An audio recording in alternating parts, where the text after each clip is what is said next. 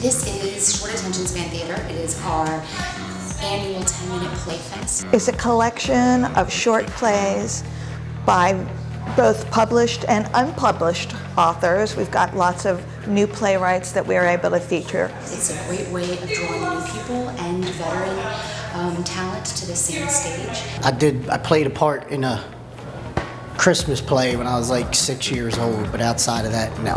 It's really cool. I've directed other places, but here I'm getting a level of support that I haven't gotten elsewhere. And it's really cool to get to work with the playwright because you can go back and, and trade ideas, and it's really nice. It's very fun for me to be an actor and being able to workshop it with the writer, who's also our director this year. I was very afraid of being a director. I didn't think that I would be comfortable giving people ideas and shaping a show and I love it. It's it's way more fun than I thought it would be. You get to meet new people and if you can say what you want to do, if you want to be involved, if you want to be a big part, you can do that. If you want to just be sort of in the background, maybe have a couple one-liners. They're really short, fun plays.